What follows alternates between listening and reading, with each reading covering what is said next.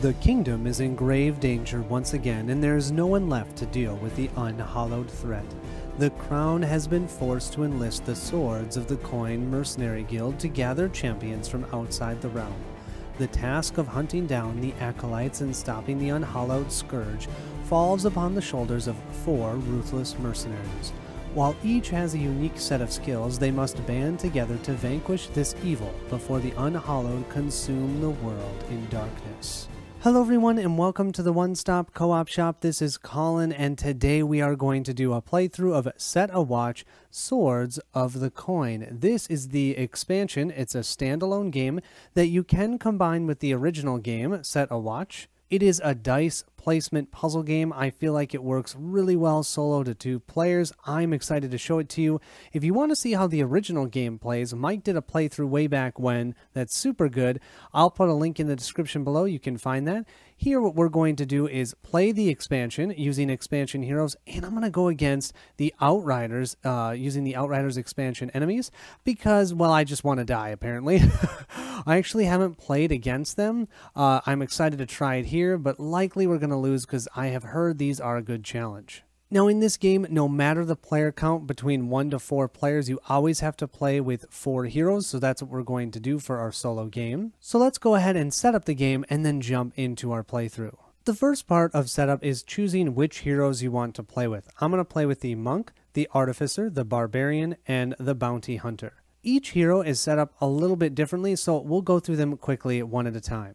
We'll start with setting up the Bounty Hunter hero. So this Bounty Hunter hero has a trophy limit of 3. What that means is when the Bounty Hunter contributes to defeating a creature in line with direct attacks, and direct attacks means you place one of your dice that you've rolled, put it on the creature as uh, direct damage, and help defeat it, we can have the bounty hunter take that creature card as a trophy and set it next to their board instead of placing it in the graveyard.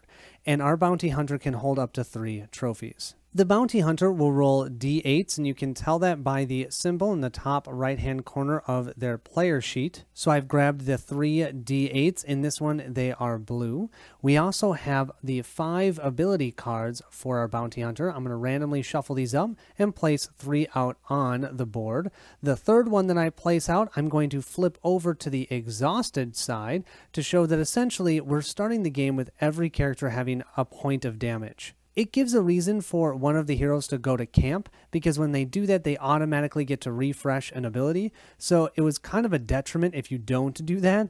Uh, you don't want to go to camp, but someone has to stay at camp each turn. So that way, we'll have two that are face up ready to go and one face down. The three abilities our bounty hunter has is exploit, track them down, and trophy swap. Now the other two I'll still keep off to the side because we could potentially do an equip action to equip them throughout the game. We'll go through these abilities in detail throughout the playthrough uh, for the bounty hunter and for each of our heroes, but what's important to know is during each round we can activate these one time by placing a die on it, and we can always also, so you can do this just on its own, or you can do this even when there's a die on it, you can exhaust it to use the ability on that specific ability card, but then that is considered another point of damage. If ever you have all three of these uh, being damaged, that means that you either need to go to camp, or if you don't go to camp, uh, when you are on watch, you don't get to contribute your dice or any of your abilities to the combat against the Horde.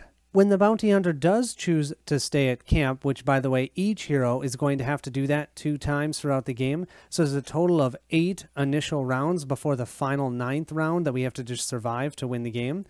During those eight rounds, you get to choose which one of your heroes is going to stay at camp, and each one has to stay two times. One of those, uh, when that's happening, you can actually use your collect bounty ability, placing a die here and activating this. This says you can discard up to three of your trophies to the graveyard, then collect coins equal to the total damage of the just discarded trophies.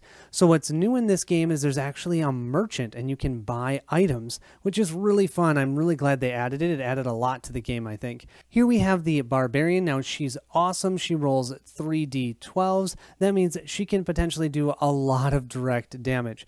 However, her abilities, which by the way, she has Leap and Voracious active with Bloodied, uh, Exhausted, the abilities cannot be used by spending dice. You have to exhaust the, ability, the abilities when you use them. So it means that when she does this leap action, she can only do that one time, and then we flip it over and it's exhausted, and she'll have to go back to camp or find a different way to heal in order to get those back. But it does mean that then generally she'll be using her dice here for more direct combat or other types of abilities. Her special ability when she has to stay at camp is the Primal Hunt or Primal Might. Choose one of your exhausted ability cards and resolve an equip action with it, which means you can swap it with one of the other ones that's not equipped. And then you get to refresh that just equipped ability. So basically, she can heal two times when she goes to camp, which is really nice. But of course, she has to spend a die to, uh, there to do that. Here we have the monk. Now the monk rolls d6s. He's going to be the yellow d6s because the artificer also rolls d6s. He has blind fighter and flying kick active with the chai attack exhausted. Oh, and I just want you to understand that these are all randomly chosen. I just randomly chose them. Uh, his ability, if he goes to uh, the camp, and you know, remember you have to do that twice for each game, he can upgrade a single die twice or two of your dice once. He can actually upgrade his dice from d6s to d8s to potentially d10s. So we could get some better dice if he chooses to meditate while he's at the camp. Finally, we have the Artificer, and the Artificer has an Artificer staff. They can never lose this, and this starts with eight charges. And it actually has a passive ability on it that states once per round you may defeat a revealed creature in line with health equal to or lower than the charges that you have here. So we have eight. Then you lose half of your charges rounded up. He has Quick Craft and War Staff available with Siphon Vortex exhausted, also rolls those d6s, and he has a Craft item ability. Draw a number of cards from the item deck equal to the value of the die spent. So if I spent a die of 4, I'd get to draw 4 cards. Keep one item and return the rest to the top of the item deck in the order of your, choosing. And I do want to mention the max amount of items that you can have is two. This is not counted for the artificer, so you can have two other items outside of the artificer. There's one more item I want to mention about the heroes before we move on to our next part of setup, and that is the type of attacks that they have. So the monk and the barbarian are melee characters. They can only do direct attacks. Now anything with their abilities, it's going to depend upon what the ability says. But with any of their direct attacks, so just placing a die on an enemy for that damage, they can only do that to the first position enemy. The Artificer and the Bounty Hunter can actually do that with the first and the second position because they're ranged. Now let's set up our enemy creatures. First thing you'll want to do is grab all the unhallowed that you want to use in the game, or potentially use. I'm going to randomly grab one of these, and I'm going to place it into the Horde. And the Horde is inside the box itself, which is really cool in that final round, any enemies that are in the horde, we're going to have to place them at the end of the line of enemies, and we have to defeat all those enemies in order to win the game. So already we have for sure one unhallowed at the end of the game. Now we might be able to get rid of this depending upon the actions that we do in the game, but uh, we don't know. and we have no idea which unhallowed that is. I've then chosen seven other unhallowed enemies, and I'm going to have them in a stack face up on the side of the board. They very likely are going to come into, the pl into play, maybe not all of them, but summon cards will bring them out, put them into our line of enemies, and then we will be seeing them unfortunately over and over again. Next, you'll want to determine the difficulty that you want for the game. I'm going to go on normal, which means I'm going to choose two summon cards. If you wanted easy, you'd only choose one. If you wanted insane, you'd choose four. Let's only do uh, two. That's a normal game. This is how those unhallowed cards that we saw that we placed the side, those seven, these are how they can come out into play. We also need to grab two acolytes. Now I've chosen, because I'm doing the Outriders ones, I've chosen one of the Undead Acolyte and one of the Goblin Acolyte. I've set them aside. Then I have randomly drawn 28 cards from that Outrider deck. I think there's 34 of them, so it's almost all of them. Just a few are still in the box. And with that pile of 28 enemy cards, I'm also going to shuffle in the Acolytes. That should mean I have exactly 30 creatures here. What I'm then going to do is split the deck 15 cards and 15 cards. I'll do that better when I'm not on camera. And shuffle in one of these cards. So these are the summon cards into each one. They just don't want you to have both of them show up at one time. So that way you have them seated between the 30 cards. Once you've completed that, you should have a creature deck having 32 cards in total. And we'll set this off to the side. Now we can set up our map deck. So the first thing you want to do is grab your final map card. This is card number nine. There's two options in this game. I'm going to use the Tower Ruins. We'll place that at the bottom of the stack. Then what you need to do is make sure you remove all the respite or the easier locations. I think of them as the easier or more relaxing locations. They have this symbol on them uh, out of the map deck. So I have all those out of here. I'm then going to take this stack, shuffle it up, and randomly draw eight and place eight of them on top of this final location card. This is now considered our map deck. Let's put that out on the board. We'll place that deck here. It should have nine cards in total. And then to start the game, we'll flip the top one over. We can ignore the amount of wood that we lose, which is amazing because that was minus four here. Uh, and then this is going to tell us how many creatures are going to come out for this round, which is only six. We also have an ability that says when this location enters play, the adventurers as a group discard three coins from the camp board.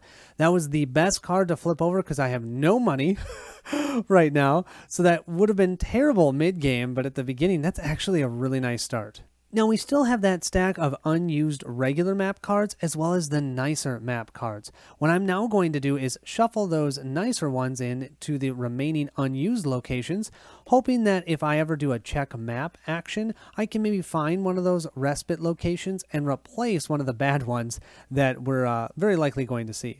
So I'll shuffle these up and then place them in the box. There's a nice little spot inside the box for unused locations the board in this game is actually the top of the box, which is kind of cool and sometimes a little bit annoying because this thing keeps popping up. uh, but for the beginning of the game, you want to set your fire at 7, which means that you will be able to reveal the first two enemies. You can see them. If ever this goes below 7, we can only look at the first one, the one that's as close to us as possible. Conversely, if we get all the way up to, let's say, 12, we can look at the, the first three because we have more fire uh, that's in our campfire. And I love how that works. And that's a very cool way of doing that. New with this expansion are all the coins. There are coin spots, and you can see that there are coins on the board. We're supposed to place out coins on each of these locations. So if I go here to heal, we'll as a group collect those coins that are in those spaces. Each round, we're going to be placing more coins out on the board for any spaces that have a coin symbol and you don't have a die there. Finally, we can set up the merchant board. So we have all of these different items. I'm going to reveal the top three. These items we could potentially use during the game. Looks like we've got two scrolls and a firewood. So these two are discard abilities, so you can use them once, discard them, and they're done. Actually, this is also a discard. There are ones that may be activate abilities where you'll use dice for them, or there might be passive ones, or there could be ones where you exhaust them to use them, and then you'll get them back when you go to camp and rest. Uh, each, this one says uh, the bolster scroll. Each adventurer may choose to reroll any number of their unspent dice. Whoa. This one, remove the top card of the horde from the game. that could get rid of that uh, that unhallowed. That would be amazing actually right now. And firewood, that would give us plus two fire, can be discarded in camp uh, or on watch. Cool.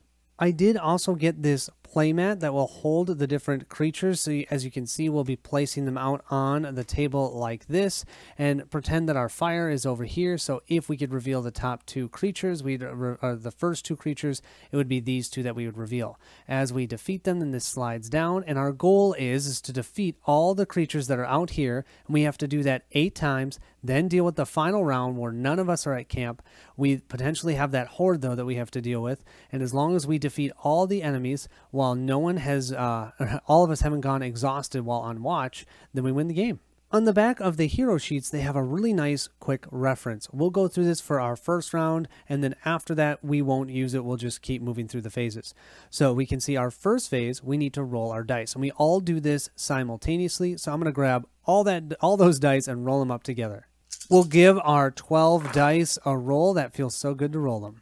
I've set up our dice on our hero boards just so you can see what they are. You can see the monk here, 644, the artificer, 632, not nearly as good. The barbarian, a 12 and a 10, and the bounty hunter has an 8 and two fours. Now, remember, the numbers on the dice only really matter when you're using them for direct damage, which is just placing them out and dealing damage based upon the number that's on the die. Remember, you can activate your abilities with any numbered die, but sometimes some abilities are better with higher number dice or better with lower ones. That's part of the fun of the game. We'll now move to the camp phase. We have to pick who rests in camp. The resting player refreshes a card and then can take all the different camp actions chopping wood, scouting ahead, checking the map, healing, equipping, potential runes if they rolled doubles. As much as I don't want to do this because I feel like the monk actually has a pretty good role here, I want to upgrade his dice as soon as possible. So I'm going to choose the monk to rest. The first thing you need to do when you choose to rest is take one of these tokens. These are rest tokens. There's a 1 and a 2 on here. This is denoting that uh, the monk now has done one time at the camp. He can only do it one more time through the rest of the game. This means we can refresh our Chai attack, so now we have all three of our skills available to us. Now what we can do is place these three dice anywhere within camp or use our ability here, and you know I'm going to do the meditate. I can upgrade a single die two times. So I can go from a d6 to a d10, or I can upgrade two dice once. And that's what I'm going to do. I'm going to upgrade both of these d6s. So now we have two d8s that are fours that we can use, thanks to that meditation. Now let's talk quick about the different locations you can go to in camp. So if you have a, an exactly a 6, can't be higher than a 6 or lower, it has to be a 6, you can come here and heal, and that can refresh another one of your abilities. Of course, we don't need to do that because we're fully healed. Also, any coins that are in a space, when you place a die there, you gain all of them for the group. So as rounds go by, we might gain up 3, 4, or 5 coins here. If I went there, I'd collect all 5, which is cool. Equip allows us to swap out abilities that we don't have currently equipped. However, if I swap out an exhausted ability, the new one comes in exhausted. Just don't forget that. The check map action, you need to use a 4 plus, so 4 or higher. You can go here. You can uh, draw the top card of the map deck and the top card of the unused location deck. Choose one to place on top of the map deck, and the other one goes to the bottom of the location deck. You could choose to go to Scout Ahead. Now, the first die you place here can be any die that you want, but if you decide to scout ahead multiple times in one camp round, the next die you place has to be larger than the one you placed there, and then so on and so forth, as you can see the greater than symbols. Scout Ahead lets you draw and look at the top two cards of the creature deck. For each card, you can either return it at the top or the bottom of the creature deck. You kind of know what's coming. Finally, you can come here and chop firewood. You can use any dice. You can go there up to three times. Every time you go there, you'd increase the fire limit by two. If you happen to roll doubles or triples, you can go to the rune slots that are on the back of the location cards. Uh, you can go to one of each of these spaces, and there's three of them. One is a seal. Uh, you can remove one unhallowed from the graveyard and place it at the bottom of the unhallowed deck. You can get them out of there. You can vanquish, remove the top card of the Horde deck, Horde, the Horde deck from the game, which right now we know is an unhallowed. Bolster, all adventurers on watch may choose to re-roll any number of their dice. Uh, I have two fours, and as much as I want money, I feel like it's too good to be true to not use the two fours. So I definitely think I want to do the Vanquish. So I'll place one of the fours here, and then I will do the other one as a bolster to allow my friends to re-roll. I believe that's that one. Vanquish means that that unhallowed we had in the Horde is no longer there. I'm going to remove it from the game. For the re-rolls, I definitely think the Artificer will re-roll these two, the Barbarian, I think we might re-roll this one. We'll see if we can get lucky, and we'll re-roll the two fours. Now, this means these three are on watch, and if ever all three of these have all three of their ability cards exhausted, we automatically lose the game. Even though the monk is all ready to go, since he's at camp, he doesn't count when you look to see if you uh, have lost the game. We're hoping for some higher dice, and we got a 2 and a 5, a 1 and a 2. That's terrible. We did get a 9, though, here. That completes the camp phase. We'll now move to the merchant phase. We can purchase items from the market. You know how much money we have? Zero. So that's not going to happen. We're going to refresh the market with new items and then add a coin on each camp action space that is marked with a coin symbol and does not have a die, which is all of them. If we had purchased one of these cards, all we would do now is just replace those empty spots. But since we haven't bought any, what we do is we reveal another item. So we have the Divine Bracers. It's a passive. Each time the first player power is triggered, reroll one of your spent dice and add it to your... Wow, wow, wow. Add it to the pool of unspent dice. I think we're going to place that here. So what you do is you actually place it on top of other items.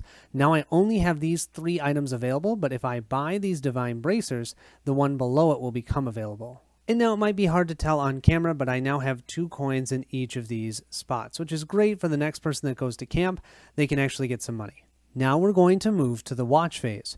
So we're going to prepare the creature line and reveal creatures based upon our campfire level, which is 2. Then as a party, we can choose the order that we spend our dice as direct attacks or activating abilities, or maybe an exhaust an ability to use its effect, if, especially if you're the barbarian. If the firelight ever goes to zero, someone has to exhaust an ability card that is on watch to then increase the fire by two. So you always have to have the fire at least by two. After we have done all the actions that we can, and if there's any creatures that are out on the table still that we haven't defeated, they're all going to deal damage to the uh, uh, adventurers that are on watch and then go into the horde, and we're going to have to deal with them uh, in that final round and then we'll go ahead and reveal the next location and start over. We have to do that eight times. The ninth time, no one's going to be in at camp, assuming we get there, and we're going to all try and defend against whatever enemies come out. We can see here from our location, we need to place six creatures out on the board. We have our six creatures. Remember, our fire level is at two, so let's reveal the first two enemies and see what we can do. Our first creature will be a Forgotten Sentinel. It has an ongoing ability. This tells you its health. It's only four, actually. If we don't defeat it, it's going to deal us two damage at the end of the round. It says here the Forgotten Sentinel's health is increased by this location creature's count, which is six. So the health here is actually 10 instead of six. Okay, that's not terrible. Our second one here is another Forgotten Sentinel. Well, go figure. So this one actually only has a 3, plus 6 is 9. So we have a 9 health Forgotten Sentinel and a 10 health Forgotten Sentinel. And don't forget, any of the uh, characters or heroes that have ranged attacks can actually attack this one, uh, but the melee characters like that Barbarian can only attack the Forgotten Sentinel. The first thing we're going to do is have our Barbarian use the 9 die here to deal 9 direct damage to the Forgotten Sentinel. Then that uh, bounty hunter will deal one damage, just enough to take him out. That's the 6 plus the 4 is 10. This is gone, and since the bounty hunter used direct damage to take out that Forgotten Sentinel, we can take him as one of the trophies, and that is what we're going to do. So we have a Golem trophy. We now have first position open, so that means the Forgotten Sentinel will move up to first position, moving all other creatures up one. We'll then reveal the next enemy. Oh no! This is a Wyvern Hatchling. It says reveal minus one fire. That means we'll move our fire down to six, which means now we're not going to flip over the Wyvern Hatchling. We've already seen it. But any new ones that go into position two, we're not going to flip over until they move to position one. And if you look here, we do not want him in position one. If this enemy gets into the first position, it will steal one unspent die from any one adventurer. Gross, you blasted dragon. I had a plan to get rid of this using our bounty hunter, but I think I've got to deal with the wyvern hatchling first. I think it's as good as time as any to have our artificer use his staff. Once per round, you may defeat a revealed creature in line with health equal to or lower than your current level of charge. Our charge is 8. We're going to defeat this wyvern hatchling. Okay, uh, that means though we have to lose half of our charges rounded up. So we are going to have to lose four charges. So we're down to four. Now we're going to slide all those creatures down. But remember, our fire is too low. We don't get to see what this enemy is. I might have a quick fix though. I'm going to use our quick craft by the Artificer. This is why I love the Artificer. Once per round, you may spend charges equal to the cost of an item that's in the market to gain it. At the end of the round, shuffle it back into the item deck if able. So we're going to spend two, two charges, going from four down to two, and we're going to buy an item. We're going to quickly find some firewood, and then we're going to discard that and chuck it onto the fire so that we can increase our fire by two.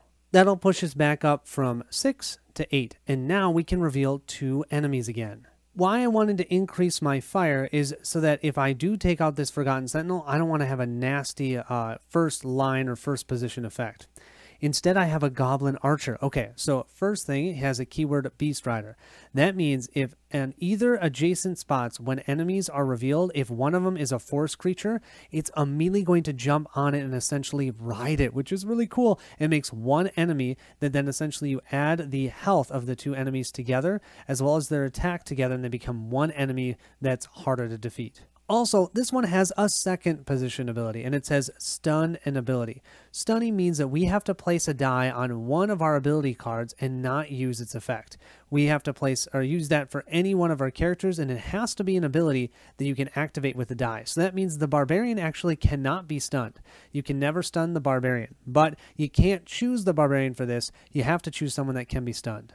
I think we're just going to stun the Artificer. We're going to place the two on the War Staff, not activating the ability. Our bounty hunter then is going to use the exploit ability that he has. We're going to defeat a revealed creature in the line who has a type that matches one of our trophy types. Well, we have a golem that's in a trophy, so we just took out this golem. No problem, didn't matter what its health was. It has now been defeated and will be placed into the graveyard. We only have three cards left. We're actually doing quite well.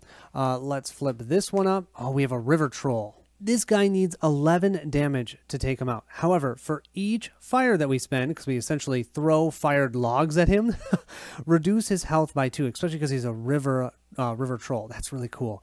He is not a, a forest creature, so we don't have to worry about the goblin archer jumping onto him. We're then going to have the Artificer just use 5 direct damage here and take out that Goblin Archer. He only has 4 health, so he's gone. He'll be placed into the discard pile. We'll slide these down. We'll reveal this one. We have an Acolyte. So this has a first position ability. It says move Goblin Acolyte to the end of the line. When it's at the end of the line, which it is, draw the top card of the Unhallowed deck and place it behind the Goblin Acolyte. Limit once per watch phase. So that's great. He just happened to be at the end of the line, and that means that we now have our first unhallowed at the end of the line, and that's our Revenant here. And he uh, says for his defeated ability, place the Revenant on top of the creature deck. Yes, we have to deal with him over and over and over again. Boy, this is just getting more and more fun, isn't it? The Artificer is most certainly going to do a direct damage attack. Remember, he's ranged, so he can attack at plus one range, taking out that Goblin Acolyte, so that way we don't have the first position effect happen. He would jump back to the end of the line, so let's get rid of him. He's in the discard pile. We'll then use our Barbarian. The Barbarian and River Troll will go head to head. And yeah, she's pretty awesome. A 12 takes out that River Troll. Nobody's business. All we have left is the Revenant. And I think we all know what we're going to do with that Revenant. We've got a 10 left from the Barbarian, 8 from our awesome Bounty Hunter, and that is fantastic because we just dealt 18 damage. And instead of this going in the discard pile, which would then mean it would go back on top of the creature deck, I believe he can take this as a trophy. Let me know if that's not right, but I believe that he can because when he deals direct damage and defeats an enemy, he can actually take it as a trophy instead of having its defeated effect. I think it's safe to say we sent those creatures packing. so uh, end round, don't have to worry about exhausting any abilities. We'll then just reveal the next location and start the next round. So I've grabbed all of our dice back. Let's see what our next location will be. We'll move from the demolished caravan to, that's another minus four, hidden pass. This is seven enemies. The adventurer in camp may take the check map action without spending a die. Yeah, why wouldn't you do that? now, I'm assuming with that ability, though, you don't get the coins because you have to place a die there to get coins, but we can at least do the check map for free. Minus four fire is totally brutal. One, two, three, four. We're down to four. That means I'm likely going to have to spend two dice just to get our firewood yeah, I don't know. I don't know what else I'm going to do because I you got to have two enemies revealed if possible. On to round two. Let's roll up our dice. I see another 12 for our barbarian. Gosh, she is awesome. Looking at the dice that we have for a round two, I was really wanting the artificer to rest because I don't have a great way right now of being able to increase our charges here except for our exhausted ability. Uh, but a 6, 6, and a 5 is really hard to pass up on. But if I did rest, or didn't rest with the Artificer, the only other one I'd really want to rest with is the Bounty Hunter. And he's got a 5, 5, and a 7, which is pretty much just as good. So I think, even though it's not amazing, I am going to have the Artificer rest. Let's place our rest token here for the Artificer, and then we're first going to do with a 6 Draw a number of cards from the item deck equal to the value of the die spent, which we have a 6 here, to activate this ability. So we're going to get to look at 6 items. We get to keep one item and return the rest to the top of the item deck in the order of our choosing. This is kind of insane. What are we going to do? We have our crossbow, you gain plus one range. We have Helm of Prophecy, cancel a creature's reveal power that was just triggered. That's an exhaust, so we could get. Oh man, we could get that back. We could use it at least two times in the game. We have Activate for the ring. Choose an ability card with a die spent on it equal to the die spent on this item. Resolve that ability a second time. Illusionary Shield. Take the creature in the first position of the line and move it to the horde or prevent an, uh, an exhaust from a summon card. Oh, wow. That's cool. Uh, because every summon card makes one of the characters on watch have to exhaust an ability, so you can actually stop that with the illusionary shield. We have Shocking Hammer. Deal to the creature in first position damage equal to the maximum value of the die spent to activate this item. Boy, if we had the Barbarian have that, that would be 12 damage. Uh, then we have the Dragon Tooth Spear. Defeat the creature in second position. so many great options here. I think I think this is just too good. We're gonna go for the dragon spear, but I love this one, so I'm gonna put this one on top, followed by this one, followed by this one. Oh, I should have them the other way. So this one on top, followed by this one uh, after that, and then this one, and then this one. Yeah, so this one at the end, then this one, then this one, then these two. You guys are probably watching this going, why was that so hard for you, Colin? but that's how our items are going to be set up. Our next two actions are going to be to chop wood. We will do that and gain two coins. Oh, I do want to mention these are double-sided with threes on the other side, so make sure that you uh, don't accidentally flip them over. That will gain us two wood. We'll then place a five here to gain two more wood, thank goodness. And then we do get that free check map action. What that means is I get to look at the top card of this one and the top card of this one and then compare them and choose which one I want to put on the top of this deck and the other one will go to the bottom of the unused locations. We either have the Forsaken Asylum, which is minus 3 to our fire. I don't love that. At the end of the watch phase, each adventurer gains one coin for each of their unspent dice. Hmm. Or the Moving Forest, it's only minus 1. Adventurers in camp cannot resolve the chop wood action. Oh but it's only minus one. Hmm. Should we take our chance? And it's only six enemies. Let's take our chance. We're going to do uh, the moving forest. Hopefully we find a different way to get fire firewood. We're going to place this one then at the bottom of this deck. We've completed the camp phase. We'll now move to the merchant phase. We have two whopping gold, three and four. We can't buy either. So we'll just replenish with, hey, the illusionary shield for five. We then replenish our money. We've got threes across the board. Remember, since there's a die here, we don't place out more money. The next time, because the next round, we're not going to be able to go and chop firewood. We'll be able to place a coin there. Now we're going to draw seven creatures from the creature deck and start doing our watch phase. I did almost forget we need to refresh our Siphon Vortex because we went to camp and we can refresh one of our abilities. We have our seven creatures out on the board. Let's start revealing our first two. The first one that we have, we have the Mesmerist. Ongoing. Adventurers cannot spend tamed creatures on direct attacks while Mesmerist is in the line, and Mesmerist cannot be tamed. We don't have tamed abilities, so that's fine. Uh, that's a human. Our next one, we have another Acolyte. This is second position, which he's in sometimes. Add the top card from uh, tap card of the graveyard to the Horde.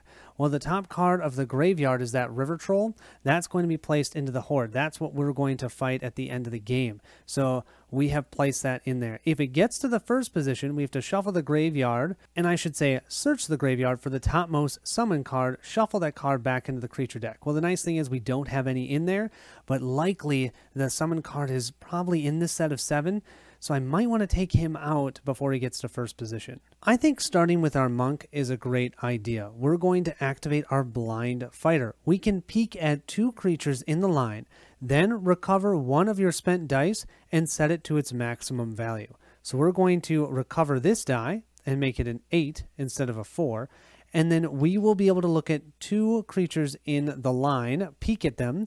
They won't be revealed, but we can at least see what they are. I do also want to mention that although we have this card here and you would think, well, why don't I just do this over and over again? I can only ever activate one of my abilities, or I should say I can only activate each ability that I have one time with a die and one time by exhausting it each turn. So I can't now take this five, use this, recover this for a six to activate it a second time. I can only ever do that one time per round.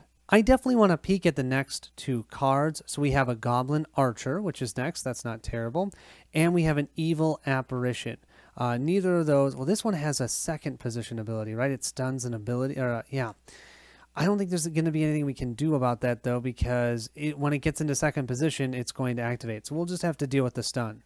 What it does mean is that our bounty hunter can use his 7 here to take out the mesmerist, and this can be his third trophy. And now we have a human, an unhallowed, and a golem, which is nice. Now this acolyte here, now that it's in first position, we look for a summon card, but we don't have any. We are, though, going to have to deal with the goblin archer and stun an ability. I don't love it, but we're going to stun the bounty hunter, I think. Our bounty hunter is the only ranged character that we have out this time, so he can use his final five to take out this goblin archer. That will go into the discard pile. He's got three trophies. He doesn't want any more, but he's used all three of his dice. We do know the next card is an evil apparition. It's another undead. It cannot be defeated with a single die uh, for direct attack, and it has a seven. We're going to do a chi attack with our monk using our 5 here. Choose a revealed creature in line. Deal damage to that creature equal to the total of your unspent dice. We have two 8s, so that's 16 damage. That is more than enough to take out that undead acolyte. We only have four cards left in our row. We have to reveal this one. I'm waiting for that summon. Oh, we have another beast rider, another goblin. First position, it's going to stun an ability, not second position.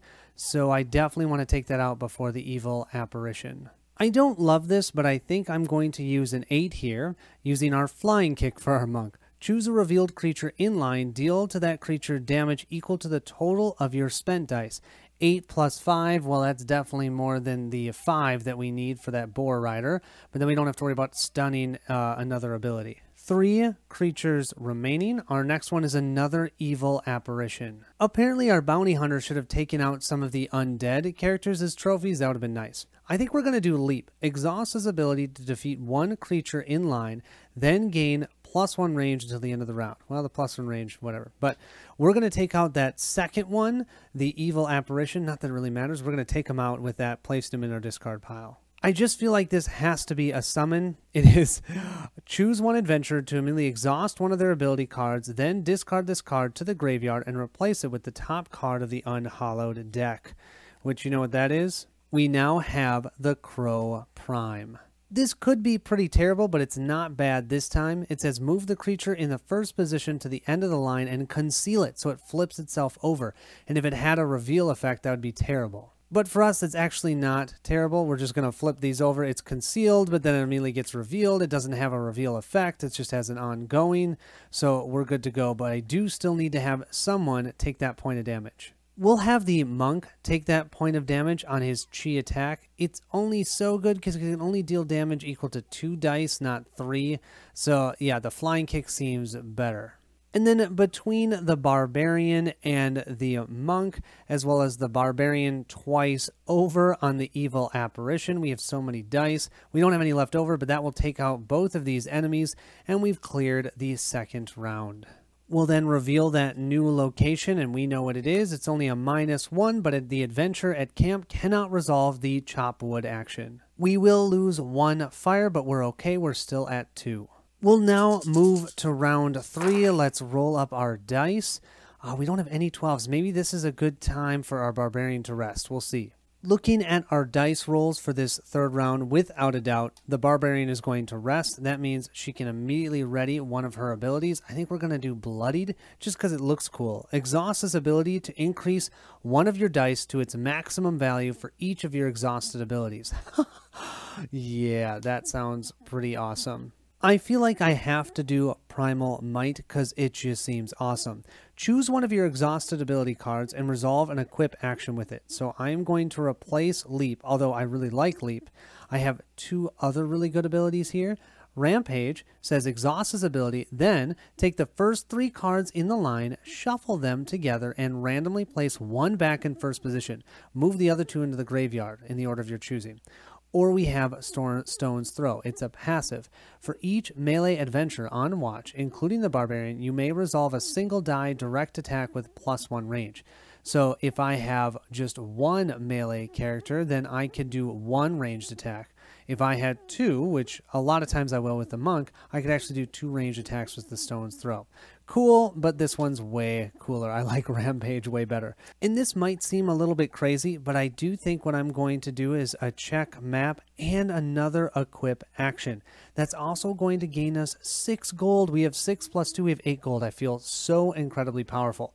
Uh, but with the check map, let's draw this top location as well as the top location from the unspent pile and reveal them. We either have Kayla Springs Mine, which actually does not hurt our fire at all. Each adventure on watch may exhaust a card to destroy a revealed creature in the line. Each time a reveal power resolves a minus two uh, fire. Hmm.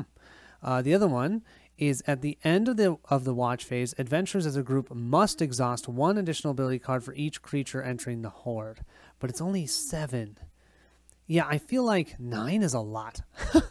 so we're going to deal with the Carnival of Fear. That means we're going to probably have to chop wood. But let's put the Carnival of Fear here, and we'll put this one at the bottom of the unused locations. For our equip action, I'm going to get rid of Voracious. We have not seen a lot of forest creatures or humans. I think we've seen one human. So I'm going to replace that with Leap. We'll now move to that merchant phase, and this just looks so good. Take the creature in the first position of the line and move it to the horde, or prevent an exhaust from a summon card. We know another summon card is coming, so we'll spend 3 plus 2, which is 5. We're going to buy this. Now we can give this to anyone. I am going to give this to the artificer can make his own we're not playing with the barbarian so let's do the monk this time we'll give the illusionary shield to the monk because that makes a lot of sense i wish i had one more coin because i want to buy this i think i'm just going to stay so that i can hopefully buy that next time or do we want this no we're not going to that means we'll just replenish it with a new one we know the shocking hammer's coming and i want that one too oh my gosh so many good ones We've added coins to the board. We have four now for healing, four for the scout, and one for chop. These two don't get any. We need to place six creatures out in our line. We have our six creatures in line. Let's take a look at our top two. Our first one will be, we have an Acid Drake and it has a first position effect. We have minus two to our fire. That means we're not going to reveal this. Then each adventurer checks their pool for unspent dice. If they have at least two matching results, they must exhaust one ability. Two matching results. We have an 843, a 653, and an 862. Oh my gosh, we are so lucky that didn't happen, but minus two to our fire is terrible we are going to chop wood like nobody's business next time. Blind Fighter seems too good not to start with, so we'll pop this up to an 8, we'll get it back, and we get to peek at two creature cards. We're definitely going to peek at the next two. We have another Acid Drake, are you serious? And we have a Trickster Imp that has a reveal. Each adventurer on watch immediately exhausts one of their ability cards, then each of them may refresh a different ability card oh, he's terrible. And that's a reveal. There's not much we're going to be able to do about that. Well, this isn't great, but I need to do this to power up my staff. I am going to Siphon Vortex. Defeat the creature in first position, then move one unrevealed creature into first position and gain charges equal to the number of creatures currently in the line. This means we can defeat this Acid Drake, let's put this card into the front of the line. We'll reveal it in a second, but that we will gain one, two, three, four, five charges plus the two that we have from before. So that will put us back up to seven from the two that we had. I will take that. We will, though, have to reveal this one. Oh no, first position. Exhaust one ability, then move Living uh, Doll to the graveyard. So this will go right to the graveyard. Uh, and we have to have someone exhaust one ability. Actually, this is kind of crazy, but I think I'm going to do the Artificer because he's the only one that does not have an exhausted ability, and we know that Trickster is coming. We're going to have to switch which one we have exhausted. So uh, before, he was actually just going to have to exhaust an ability and not be able to switch it to a different one. Now he will, so that actually wasn't as bad as I was thinking. However, what's going to happen next is going to be terrible because we're going to have minus 2. Oh no, this is actually really bad. We're going to lose two more fire, going from five down to uh, three. And then each adventurer checks their pool for unspent dice. If they have at least two matching results, they must exhaust one. Well, we have two eights here, so we have to exhaust an ability for the monk. And that's because we used our blind fighter to turn it into an eight. We've already used the blind fighter, so we'll flip that one over. We still have our flying kick available. I think for our next action, we're going to use our bounty hunter, track them down, reveal up to two creatures. If either creature type matches one of your trophies, which is human, golem, or unho- uh, golem or unhallowed, uh, then set your unspent uh, unspent dice to their maximum value, which would be eight. We know this is that stupid Trixie imp, so let's do these two. Our first one is the Dragon Rider, so if there's a dragon next to it, it would actually jump onto it. It has a reveal effect. Oh, why don't we just hit our fire a little bit more? Then reveal cards immediately before and behind the Dragon uh, Rider that's in line. We were going to do that anyways. We'll reveal this one. Oh, it's just, you know, a River Troll, but that's a giant. And this one over here is the Demon, the Trickster Imp, which we're also going to have to do in a second. Let's first deal with the fire. Our fire now goes down to a whopping 2. Then we just have to deal with this reveal effect. Each adventurer on watch immediately exhausts one of their ability cards, then they may refresh a different one. Before I do that, I do want to mention one of the creatures that we revealed was a human. That would mean that both of our unspent dice are now going to move to an 8. Okay, and that's important because now I am going to exhaust this one for our bounty hunter to then ready the trophy swap. Our monk will have to flip over the flying kick, and then maybe we'll flip over... Ah, the, the blind fighter is just so helpful, so we'll do the blind fighter. The artificer will flip over the quick craft and then exhaust the war staff. Let's have the bounty hunter and the monk work together to take out the acid drake. We're then going to discard one of the trophies. We're going to discard the golem, so we now have a dragon as one of our trophies for the bounty hunter. We can then just do direct attacks to take out the last three enemies, I believe. Uh, just taking out each one with what we have here. 8 for there, that's 8 plus 6, that's more than enough for the 9. 8 plus 5 is more than enough for the River Troll. So all three of them are toast. Nothing goes into the Horde, but we have no fire. And don't worry, remember what I picked? I picked the minus 2, 1 for fire. So 1, 2. When you go below 0, you get pushed back up to 2, and one player needs to exhaust an ability. Wonderful. At the end of the watch phase, adventurers as a group must exhaust one additional ability card for each creature entering the horde. Hopefully that doesn't happen. We're only doing 7 this time. I don't love this option because it's forcing the monk to be the rester next time, but I think I'm going to exhaust the monk's ability just so that I can rest with him, power up his dice a little bit more, and uh, yeah, then hopefully he can survive. hopefully everybody else will roll well. And of course, what do I roll? Two eights for the monk. Wonderful. Apparently, it's no rest for the weary for the bounty hunter uh, because we're already doing the second rest for the monk uh, when he only has, well, he hasn't rested yet, but he's still kicking. Uh, I've heard that some people say you have to rest with everyone once before doing a second time. I don't believe that's true. I don't see it in the rules. I just think it's everyone has to rest a, a total of two times throughout the eight rounds. Our monk will have a pretty quick camp phase. He's going to go here, upgrading that D6 two times to a D10. So we'll have one D10 and two D8s. I really wish I could help him heal one more time, but I can't. I'm instead, because I rolled 8s, I needed exactly a 6. I'm going to use both 8s to increase our firewood. One, two, three, four. That still doesn't even put us up to where we have enough to reveal two cards. Oh, it is what it is. But we do have four gold that we can use. We have two really fun options for our four gold. We can do each time a first position power is triggered, reroll one of your spent dice and add it to the uh, add it to your pool of unspent dice. It's awesome, but the shocking hammer is also great, especially with the barbarian. But this gives us more options.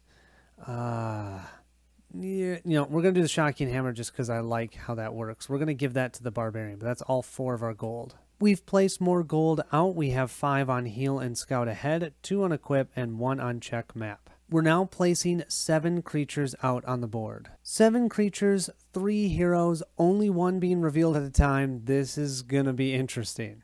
I did almost forget to reveal a new item. We have our Ring of Repetition. We know what that does. We've seen it before. Let's see what that first creature is. Oh, it's just a yak. okay, well, we have a 5 from our Acolyte, or our Acolyte. That would be our Artificer. Let's just take out that yak, shall we? One down, six to go. We'll slide everything else down. Let's see, we have the uh, Mesmerist. Once again, we cannot tame creatures. That's actually fine. We'll just use a 7 from the Bounty Hunter. Gosh, I just feel like I'm just waiting for something bad to happen. okay, sliding these all down again. We only have 5. We've been able to one-shot the two characters. We've got another Yak. Okay, let's use a 4 for that one from the Artificer. Because we have a 4. This is going well so far. Uh, we'll slide these down. So we only have four cards left. Let's see. We have a boar. That's only a four. These these are really wimpy characters or creatures. We'll do five from the bounty hunter to take out the boar. oh, this is awesome. Maybe this is okay. We'll flip our next one. Oh, there's our dragon rider. Reveal minus one fire. Then reveal the card immediately to the left to see if it's a dragon. It is a dragon, which also has a reveal. Uh, and so it's going to jump onto that dragon. So we have two minus ones to our fire. And then this is going to move to first position and steal one unspent die from one of our adventurers. I have a one from our artificer. We'll just have that one lost. I'll put it on. Here. No, I'm not going to put it on there because it's not damaged. I'm just going to remove it from the game. We'll move back down to five. This actually worked out okay so far. We'll slide this one back over. I just want to make sure I didn't miss anything. Yep, no, we got all of those. So we need to deal 7, and now I should just... Uh, 14 damage to take this guy out. Well, I think this is legal. I don't see why it wouldn't be. We're going to exploit and defeat a revealed creature in the line whose type matches one of your trophy types. Well, I have a dragon and I have a human, so I believe I can just take out that wyvern hatchling with the dragon rider. Let me know if you don't agree with that. I know you can't tame them when they're combined, but I don't think there's anything saying I can't use exploit. Our final one is a boar, and look at this. We have an 11, and we have a 10, and we have a 5. I, you know, I must have done a terrible job shuffling these cards or something. We had all the forest creatures show up at the end. This guy was a 3. He was a wimp. We took him out no problem. Really, the only thing we're having a problem with right now is fire. This means we can move right along to round five. We're going to go to the tall grass location. Each time a creature with a first position power is revealed, move that creature one space towards the first position. Ooh. Well, that's okay. I can only see the first position anyways. Minus one to our fire. Well, I think it's safe to say we know who's not resting, and that would be the monk. What a roll for the barbarian. A 12, a 1, and a 2.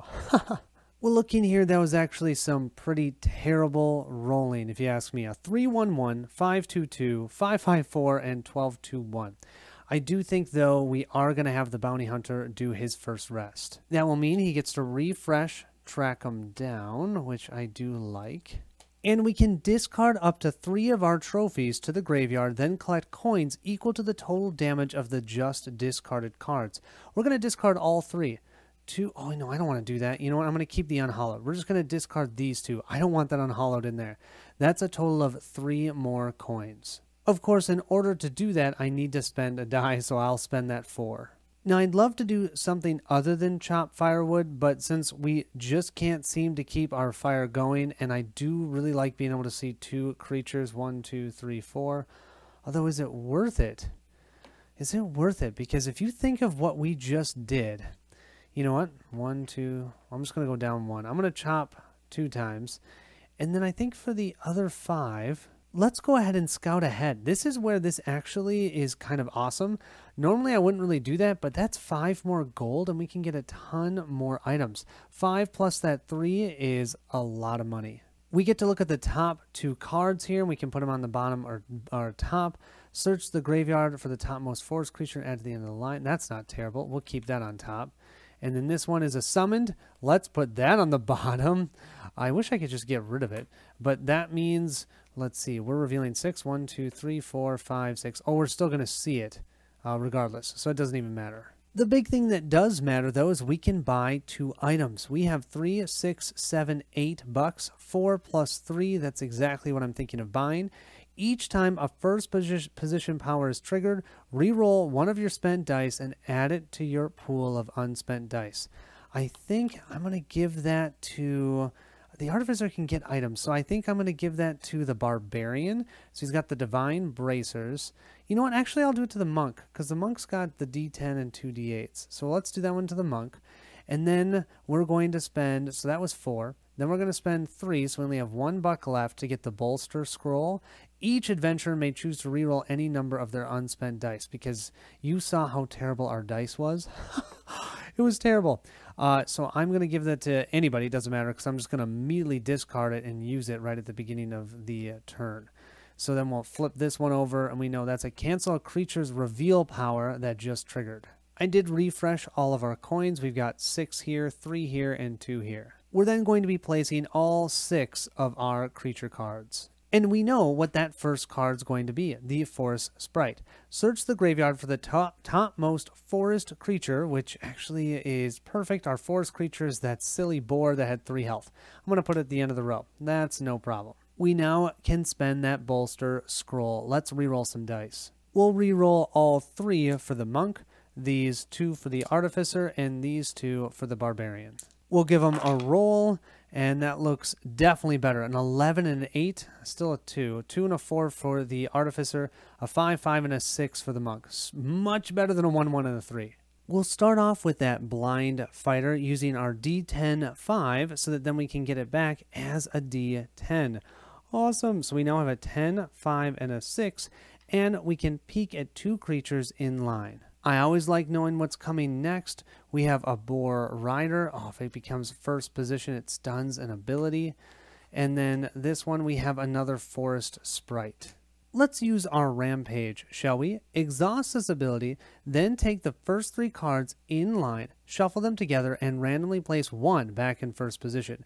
Move the other two to the graveyard uh, in the choice of your choosing, in the order of your choosing.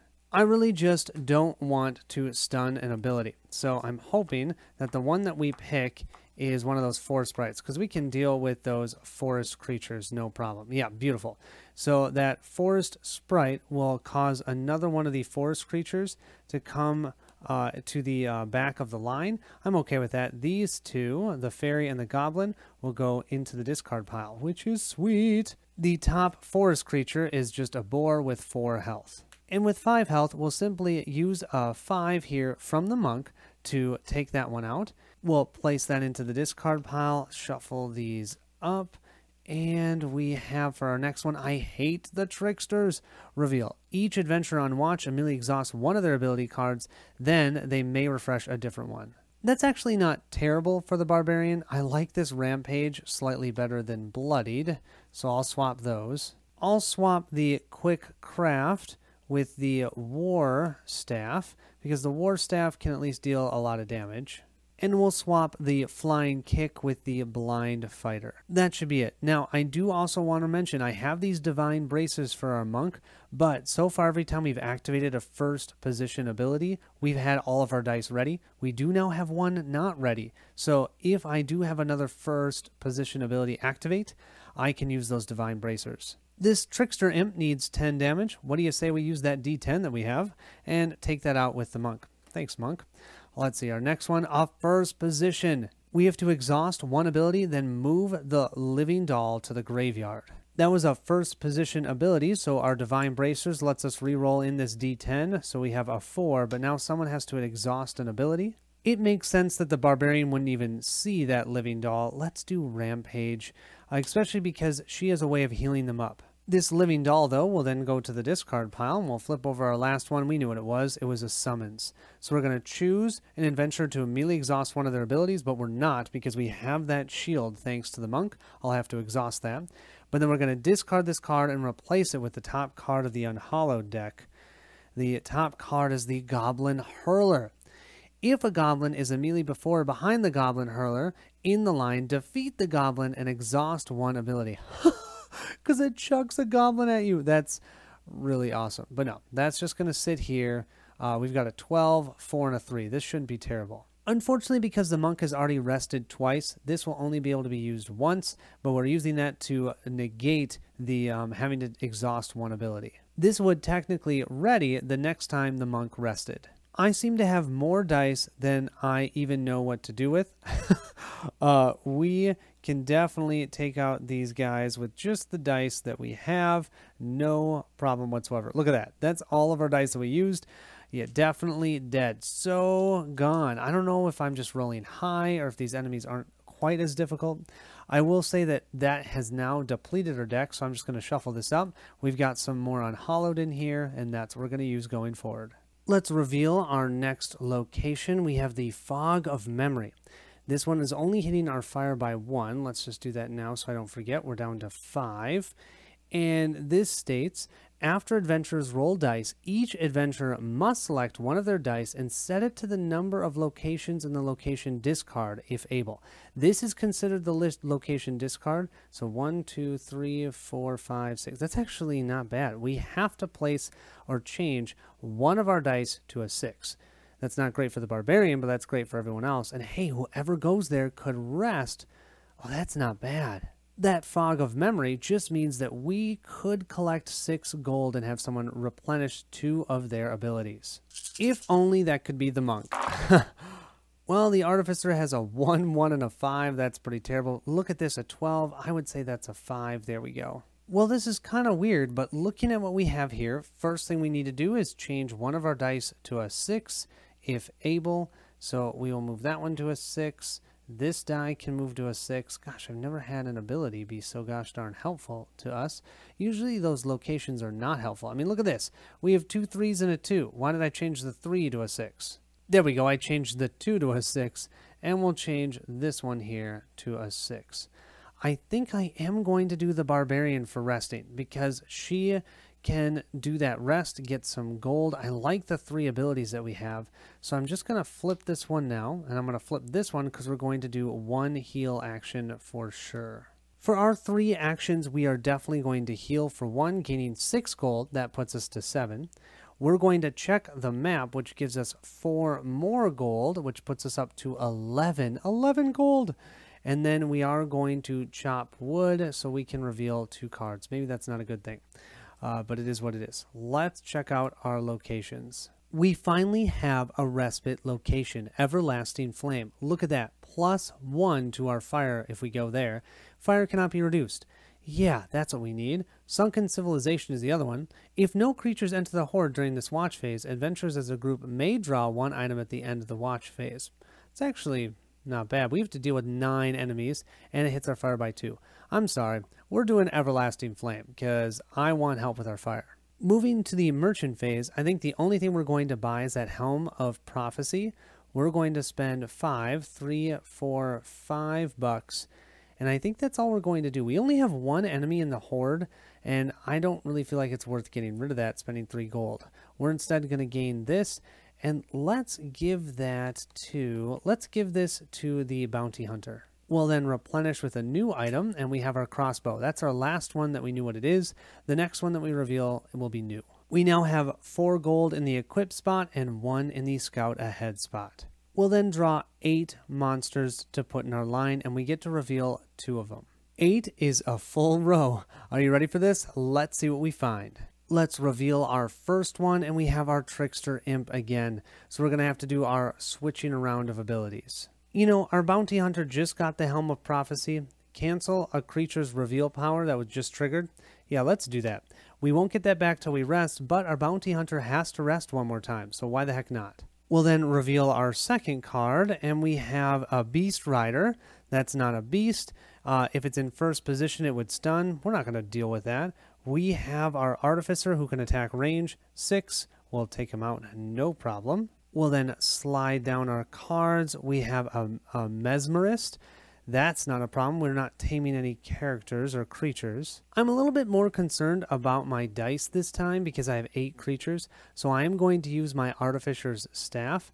We'll go down to uh, three because it has to go down uh, rounded down. So seven divided by two rounded down means that we can just take out this Mesmerist no problem. Let's see what our next one is. Oh, it's just a Yak. That only has five health. Our Artificer has a 5 right here. He can take that out. It's ranged, no problem. Let's see what our next one is. Oh, we've got that Forgotten Sentinel.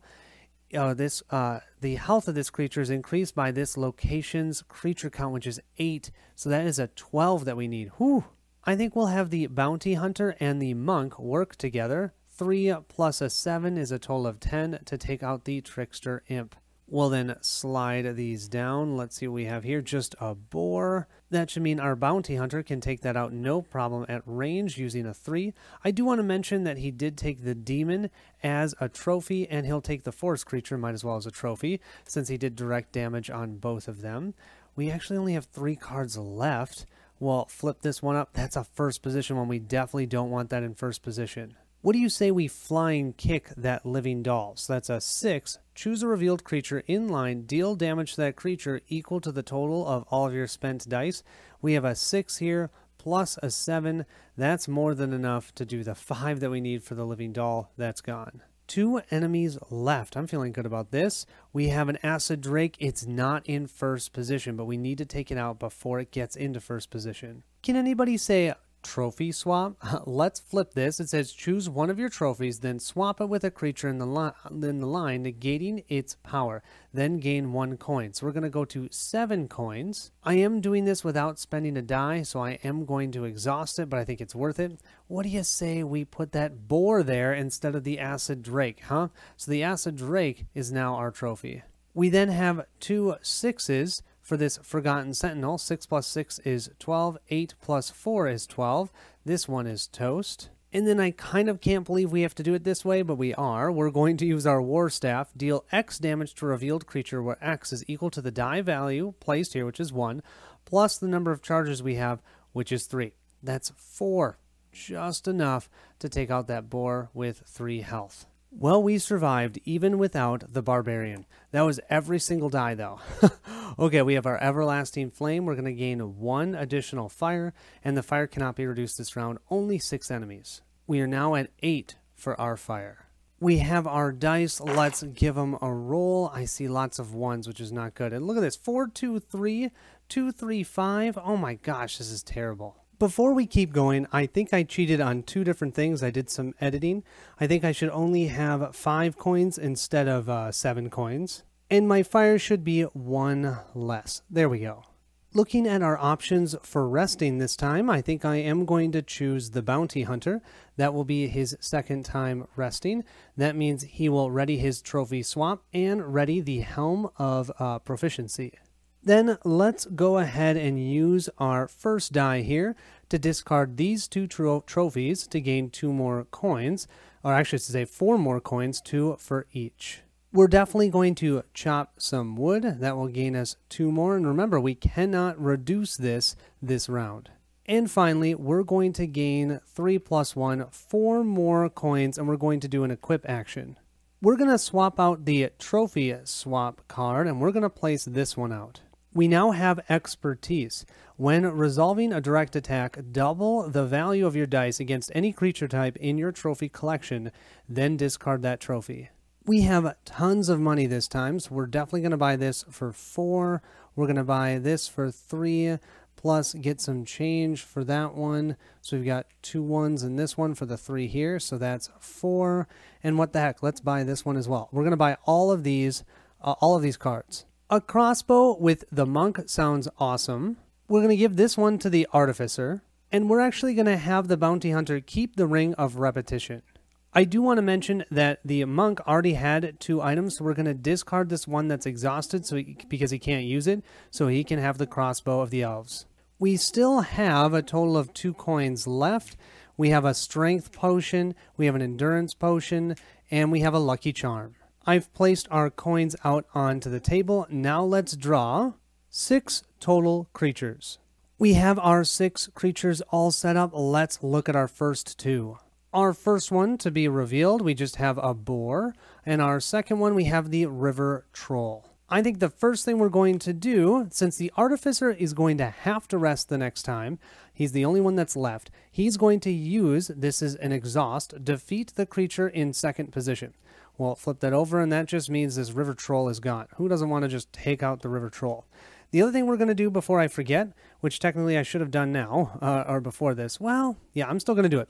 We are going to vanquish, remove the top card of the Horde from the game, and that card is that other River Troll. So that River Troll is now removed from the game that was in our Horde. So our Horde is empty right now, which is wonderful. We'll then slide all of our creature cards down. Let's look at our next one. We just have a yak and a boar. These guys are wimpy. I've got a 5 from the monk. Remember, he's now ranged. Normally he's melee, but he's ranged. So we can take that one out, no problem. And then let's slide these down. Oh, we have a wyvern reveal. Guess what? We don't have to do that. Our fire cannot be reduced. Take that, you wyvern hatchling. Okay, we need six. We definitely do not want to have that in first position. We have a 5 here and a 1 from our Artificer. That will take this Wyvern Hatchling out. Let's flip our next one. We have a Beast Rider, another first position. Good thing that is not first position. Thank you, Boar. Oh, I believe... So it's going to jump onto this boar. I'm going to say that when it does that, it is going to have its ability uh, because, yeah, it's going to jump onto that Beast Rider. Now that's a 9 health beast, and then we flip over this one. Oh, we have a forest sprite.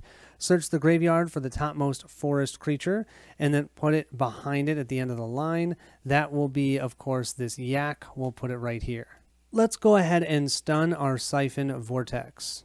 Our Barbarian is going to use the 2 die that we have here, turn it into a 12, because that's what that Shocking Hammer does, and that is going to take out these two no problem. And I'm realizing this is a first position ability, so this actually would not be the topmost beast. This one would be our boar. They're pretty much exactly the same. But that is a first position ability, which means we get to re-roll one of the priest dice back in because of his bracers. So he now has a 5 and a 2. So the 5 will take this one out, a 5 will take this one out. We still have more dice. Yeah, we annihilated those we have one more round and then the final round. So we have the Adventurers Guild. We have eight monsters. Adventurers may spend a number of coins equal to a creature's damage to defeat the creature. Oh, and I spent all that money. Oh well. It is going to hit our fire by two. We're down to seven.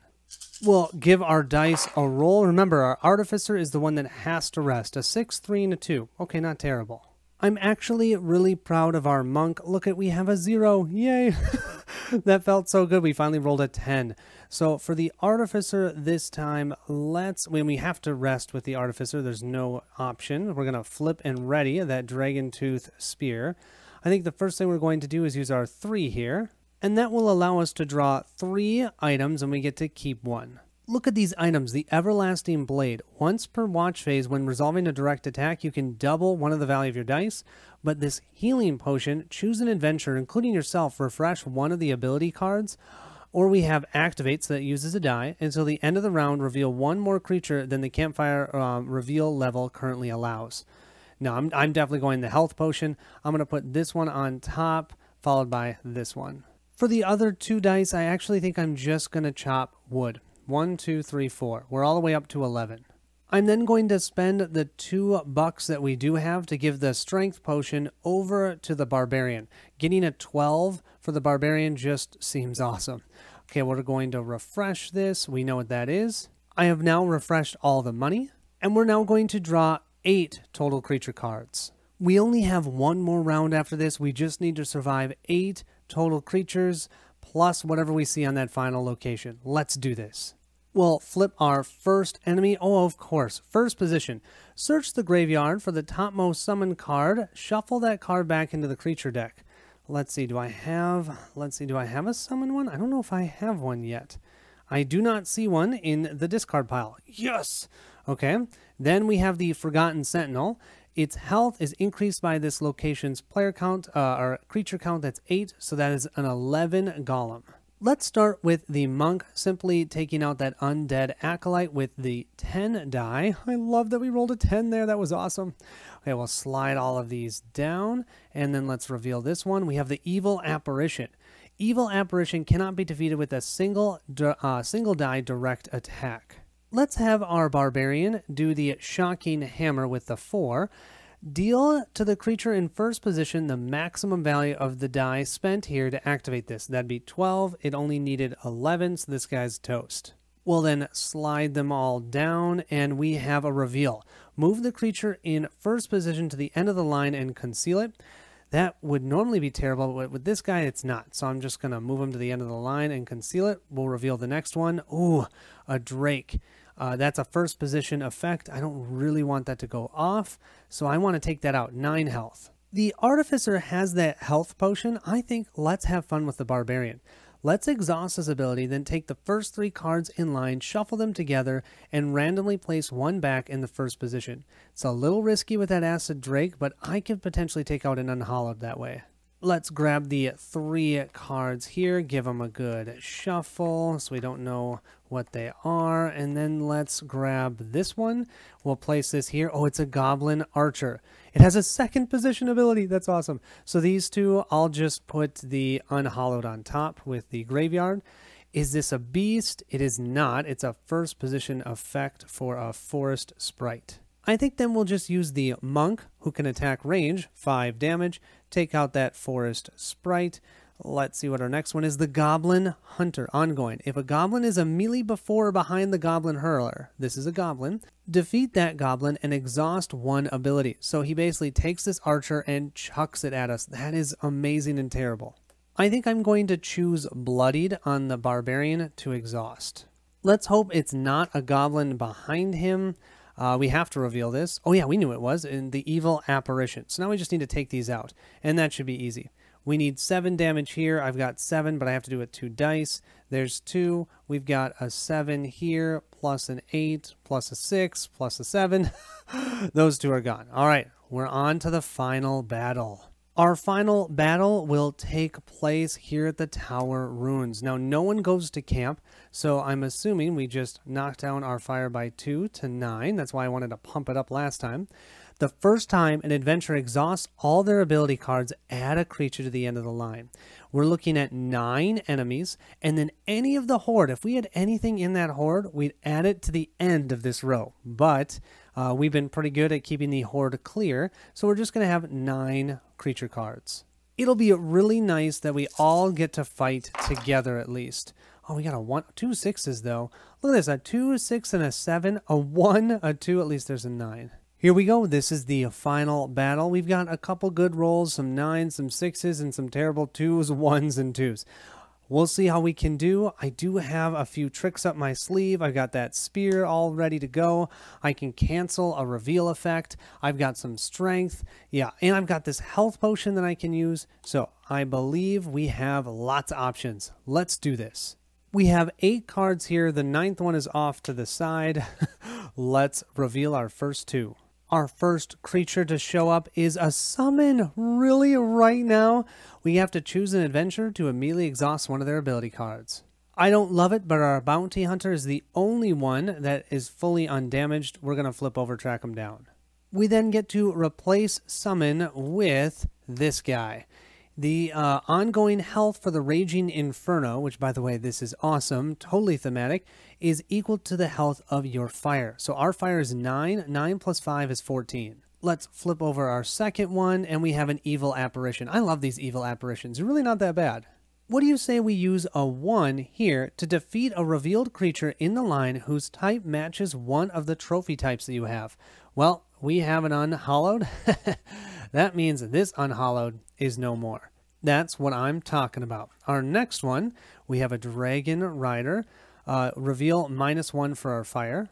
That does push us down to eight, but we're still at the two or more that are revealed. Now we do have to immediately reveal this one as well, and this is a Goblin Acolyte, which has a first position and end of line effect, so I definitely want to kill that before it gets to first position, but it is not a dragon, neither of them are, so I don't have to worry about that.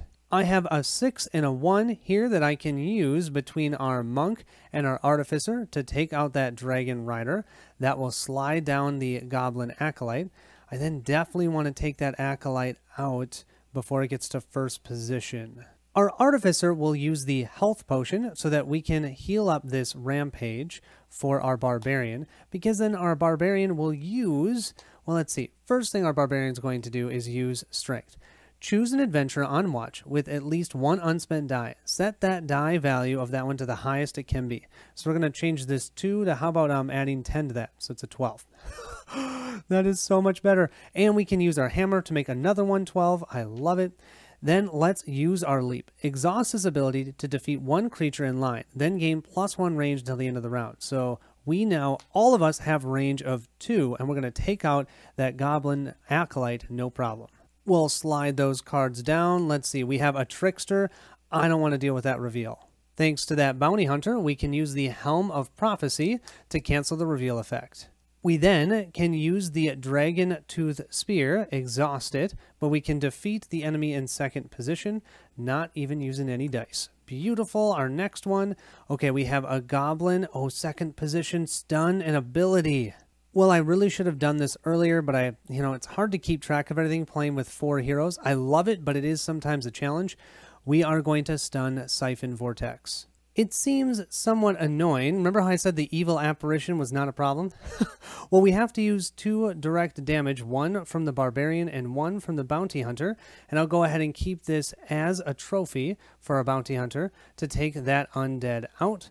Let's see what our next one is. Reveal minus one to our fire, and we do not want him in first position. We still can have two enemies revealed, but not for long. If I lose any more fire, that won't be the case. That Wyvern, though, has no chance with a Bounty Hunter that has a 7, exactly what we need to take that out. Okay, we literally have three more creatures left to win the game. And we have another summon card. That is terrible. Let's go ahead and have someone take a damage. Let's have that Artificer take a damage. We'll flip this one over. And we will replace this summon with a Hulking Amalgam ongoing each time a reveal effect is resolved, resolve it an additional time as if it had been triggered by the hulking amalgam. Oh my gosh, that is an unhallowed. The nice thing is it only has 9 health, and we have our monk here. He can use his 9 to take that out, no problem. I love having the monk having extra range. That means two more enemies. Uh, we have, oh, this is easy. Uh, I think we just won the game. We have a 12 here from the Barbarian, and we've got a 7 here, plus a 2, plus a 6. Okay, it was a little touchy and goey, but uh, once we were okay with whatever that summons brought out, I think, yeah, I mean, we, we handled that one there you have it. That was Set a Watch, Swords of the Coin. Uh, yeah, I definitely think it's an upgrade from the base game. The only thing is, is and, and I don't know if it's just these enemies, I did feel like that was essentially a walk in the park. Let me know if I missed something, and maybe that's the reason why. Uh, but I, I felt like when I played the uh, you know, I played the base game against the um, enemies that came with this, and I felt like that was much more of a challenge, actually. So I don't know if I just got lucky with how cards were being revealed, uh, but overall, still super fun. I do really love the puzzle. The biggest thing about this game is I just feel like it overstays its welcome for maybe about four rounds. I think I, I, I really feel like the game could have been each of you has to rest once and then a final battle. Having to do that twice and then a final, nine rounds can get long. I mean, this video is going to be long. Uh, I, I think it's fun, but I feel like after round you know seven or eight, I I'm ready to be done. So uh, if though you are involved and invested in that dice placement game and puzzle, and you're really enjoying it, you, you know it can go pretty quick. But overall, I would say I still really enjoy it. Just be ready for it to be a little bit of a longer experience. Thank you so much for watching as always, and I'll make sure to catch you at the next stop.